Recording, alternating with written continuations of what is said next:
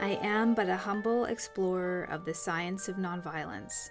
Its hidden depths sometimes stagger me just as much as they stagger my fellow workers. Gandhi, Young India, November 20th, 1924. Gandhi is doing two things here. One, being humble, which was just his natural state. But other than that, and more importantly, telling us once again that nonviolence is a profound, deep principle of reality, probably the principle upon which all of the universe has come into existence.